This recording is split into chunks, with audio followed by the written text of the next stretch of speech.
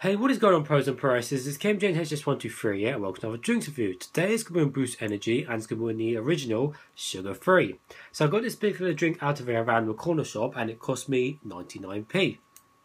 So I give you guys a full 360 of the bottle. So we have the fairly simple Boost logo and design with the uh, bluish whitish design. And we kind of just have like bubbles and you know stuff on the side. So fairly simple design, but to be honest, it does look fairly cool. Fairly cool bottle and of course we have the weird shape of the bottle like that.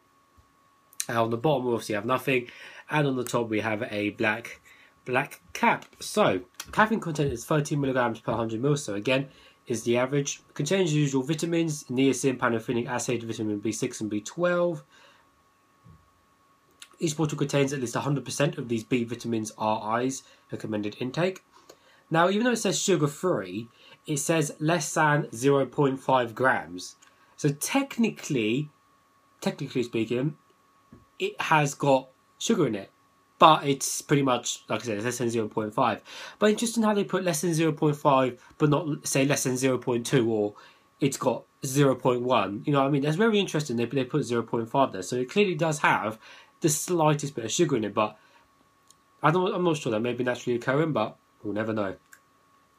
Uh, let's see what sweeteners it has because it is sugar free. So uh, it it has acesulfame K and it does have aspartame, unfortunately, but oh well.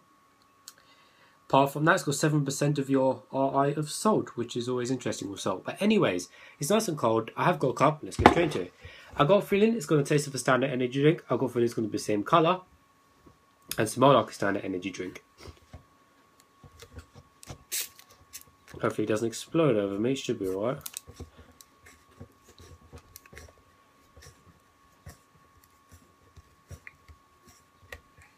There we are. Oops, almost freaking come out.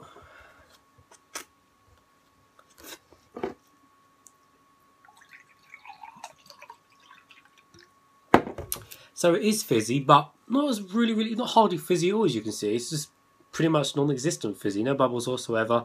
Um, don't know why. The colour is more of a brighter yellowy uh, colour, colour rather than the standard orange, you know, orange appley colour. Definitely more on the brighter side. The smell does more of a uh, standard energy drink though, but again, just maybe a tad more on the lighter side.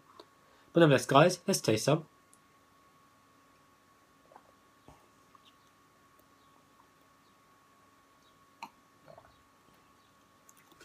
That does taste different straight away.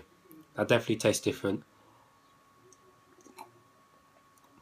Ooh. There's definitely a big different flavour in there, guys. You could definitely notice the difference with this sugar free. Normally I say full sugar is the same as sugar free, but with this, blimey, you can definitely tell.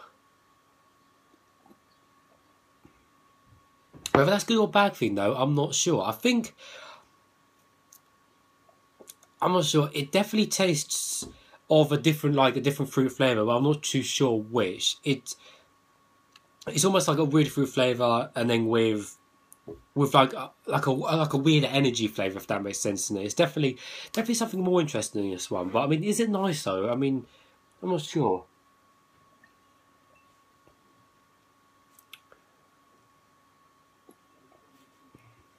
Hmm. I'm not sure. That is is an odd one. That is. That's very interesting for sugar free. Don't get that too much.